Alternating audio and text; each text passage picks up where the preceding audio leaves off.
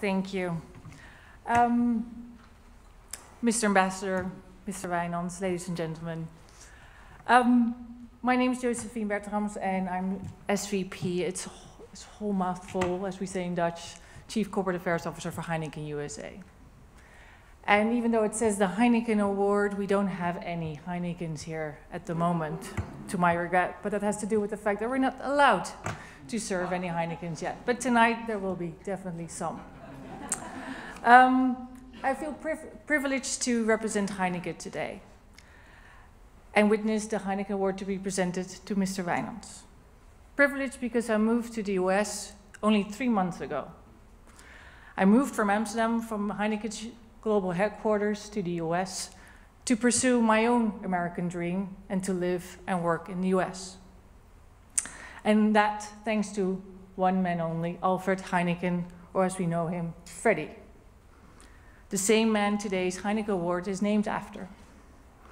In the lead up to today's ceremony, I wanted to get a better understanding of what Freddie Heineken experienced in the US.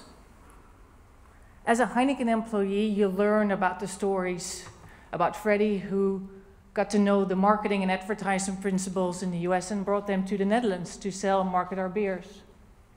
We all know the stories about how he made very trendy couples go into bars in New York and ask for Heinekens, even though he knew that they didn't sell any Heinekens. But the days after, a sales representative would go to, the, to that bar and ask for any uh, whether he could sell the bar owner some Heinekens, and they all said, yes, please. But I have a passion for history, and I wanted to know more.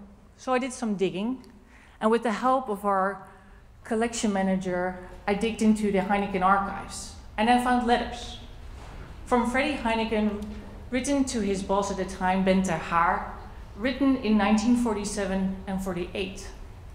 On his typewriter, he wrote, his experiences in the US. And what I learned, Heineken's American dream didn't happen overnight. It showed the story of a young and eager businessman who experienced dilemmas and setbacks of setting up a business abroad. From frustrations about poor quality beer after weeks of shipments overseas, issues with immigration, terrible packaging, challenges with distribution and partners, and a strong competition from Budweiser. Some things will probably never change. and obviously the need to do things differently to raise the brand's profile. And I quote Mr. Heineken in one of his letters, and this, apologies, is in Dutch. Ik ben er dan ook heilig van overtuigd dat met een beetje meer reclame de verkopen aanmerkelijk vooruit zouden gaan.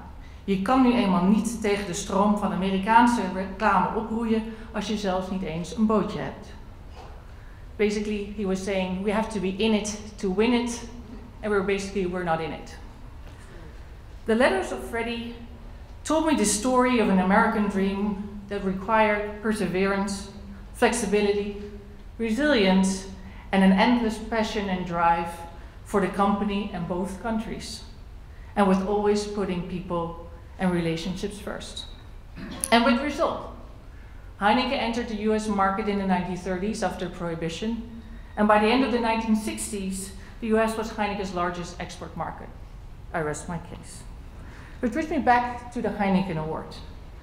With the Heineken Award, we honor the accomplishments and achievements of entrepreneurs and companies. With permission, I'd like to make a suggestion to add another dimension to the Heineken Award. It should not only honor those who have made a positive contribution and a substantial contribution to Dutch and US economic relationships, but it should also honor the perseverance and passion required to achieve it. So when I'm looking at, when I would add this dimension to today's recipient of the award, and looking at Aegon's presence and track record here in the US, I'm not too worried that Mr. Wynaendts would leave this room today empty handed. Because I'm sure that if someone like me would go into the Aegon archives to look into probably emails and WhatsApp messages, would see the same and would equally be inspired by his journey as much as I've been inspired by Freddie's. On behalf of Heineken USA and Heineken Totality, congratulations to Mr. Wijnand and Aegon Transamerica. And thanks to everyone for joining today. Cheers.